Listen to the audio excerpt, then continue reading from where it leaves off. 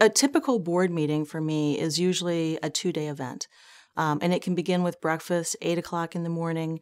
Then, what usually happens is we'll break into committee meetings. Committees can be things like the audit committee. I serve on one of those. I also mm-hmm. serve on compensation committees, nominating and governance committees, the types of committees where we bring new people onto the board. So we'll have committee meetings the first day, catch up as a, a, governance team, have a dinner with management where we get to talk about issues that are going on for the business and prepare for the next day. And then the next day, we generally go in and it's full board meeting, meaning all board members are in the same room. And we typically cover some very important topics. As a board member, the most important thing that you do in your role is you help management. The board is a guide and a leader to the management team. You're ultimately a fiduciary, which means that you're responsible for producing returns for the stockholders, the people that own the company. They're the ones that you're really working for. At the same time, you have to balance that with the needs of your customers.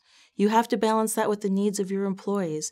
And you have to do all of that in a way that um, is compliant. So we really focus on strategy and risk in the plans that we're looking at and, and try to do everything that we can to help management really achieve those objectives that make people's lives better. After a board meeting or a long trip where I've been out, you know, working on investments, that kind of thing, um, getting home is such a luxury. I I, live in the woods of northern Massachusetts, and I love the serenity and quiet of that because generally where I go for business is going to be very large metropolitan centers, which I also love.